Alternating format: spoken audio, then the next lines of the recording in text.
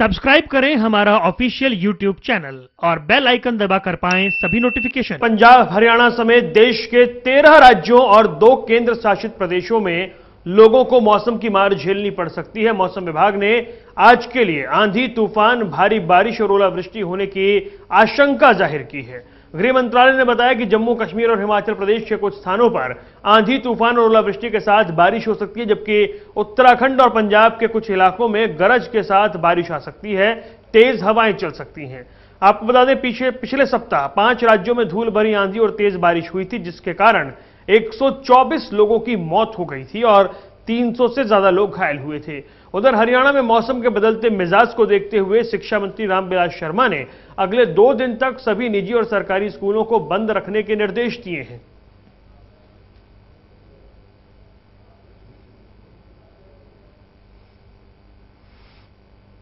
तो तेरह राज्यों में आंधी बारिश की आशंका ज़ाहिर की गई है। आपको बता दें कि तेरह राज्य और दो केंद्र शासित प्रदेश हैं जिनमें तूफ़ान के चलते भारी बारिश, तेज हवाएँ चलने की आशंका ज़ाहिर की गई है।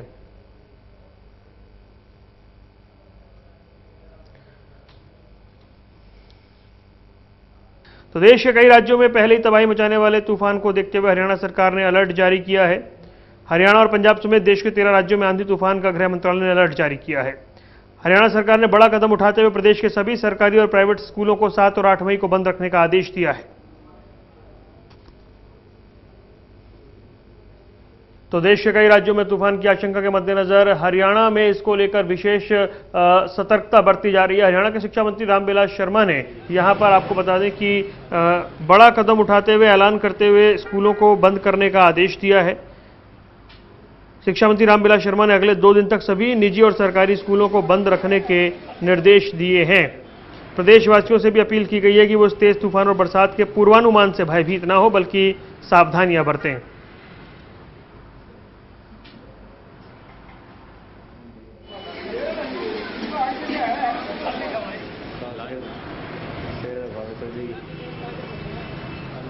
तो हरियाणा में मौसम के बदलते मिजाज को देखते हुए शिक्षा मंत्री रामविलास शर्मा ने अगले दो दिन तक सभी निजी और सरकारी स्कूलों को बंद रखने के निर्देश दिए हैं। हरियाणा सरकार की ओर से ये बड़ा कदम उठाया गया है। रामविलास शर्मा ने मौसम विभाग की तेज तूफ़ान और बरसात की चेतावनी को ध्यान में रखते हुए ये घोषणा की है कि सभी सरकारी और निजी स्कूल प्रदेश में सात और आठ मई को बंद रहेंगे। प्रदेशवासियों से भी अपील की गई है कि वो किसी भी तरह के पूर्वानुमान से भयभीत न हो, बल्कि विभाग की ओर से जारी सावधानी को बरतें। बच्चों, औरतों और बुज़ुर्गों का विशेष ध्यान रखें। आपको बता दें कि यूपी और राजस्थान में आए आंधी और तूफ़ान की वजह से भारी तबाही मची थी।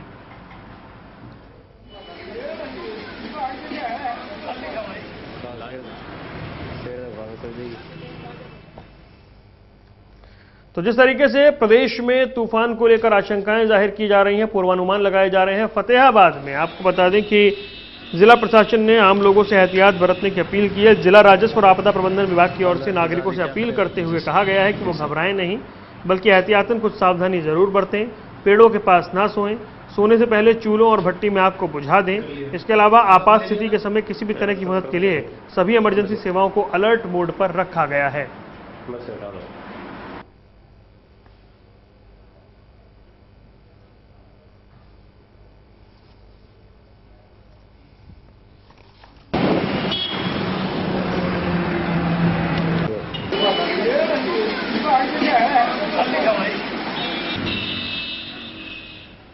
अगर आपको हमारा वीडियो पसंद आया हो तो कृपया लाइक, शेयर और कमेंट ज़रूर करें।